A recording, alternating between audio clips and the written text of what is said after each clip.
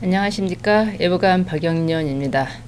4시 현재 전국이 흐리고 제주도와 남해안 일부 지역에 호우특보가 발효 중인 가운데 제주도와 남해안을 중심으로 시간당 20mm 내외 강한 비가 내리는 곳이 있고 그 밖의 지역에서도 산발적으로 비가 내리고 있습니다. 또한 서해안과 남해안을 중심으로 바람이 강하게 부는 곳이 많습니다. 오늘 예상도입니다. 오늘은 북쪽을 지나는 저기압의 영향에서 벗어나 상해 부근에서 동진하는 고기압의 영향을 점차 받겠습니다. 전국이 대체로 흐리고 남해안과 동쪽 지방을 중심으로 비가 오다가 아침에 대부분 그치겠고 오전에 서쪽 지역부터 점차 맑아지겠습니다. 내일 예상입니다. 내일은 제주도 남쪽 해상에서 동진하는 고기압의 영향으로 전국이 대체로 맑겠습니다.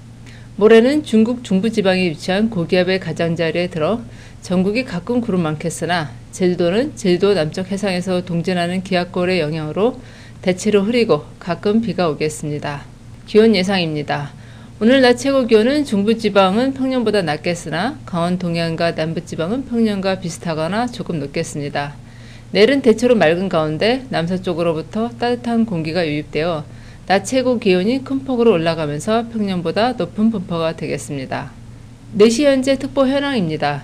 현재 남해안에 강풍특보가 발효 중인 가운데 남해안은 오늘까지, 강원도 영동은 내일까지 바람이 매우 강하게 불겠고 그 밖의 지역에서도 바람이 강하게 부는 곳이 있으니 시설물 관리와 안전사고에 유의하시기 바랍니다.